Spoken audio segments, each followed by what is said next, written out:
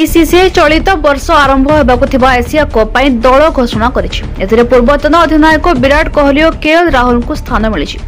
ତେବେ wicket keeper batter Sanju Samson Ishan Kishan ଦ୍ରୁତ bowler Mohammad Shami ଟିମ୍ରୁ ବାଦ୍ ପଡ଼ିଛନ୍ତି କୁହାଯାଉଛି ଯେ ଏସିଆ କପ୍ ଖେଳୁଥିବା ଟିମ୍କୁ ବିସିସିଆଇ ଟି ଟ୍ୱେଣ୍ଟି ବିଶ୍ୱକପ୍ ପାଇଁ ଓହ୍ଲାଇପାରେ ଏଥିରୁ ସ୍ପଷ୍ଟ ଯେ ଚୟନକର୍ତ୍ତା ସଞ୍ଜୁ ଇଶାନ ଓ ସାମିଙ୍କୁ ବିଶ୍ୱକପ୍ ପାଇଁ ସୁଯୋଗ ଦେବାକୁ ଚାହାନ୍ତି ନାହିଁ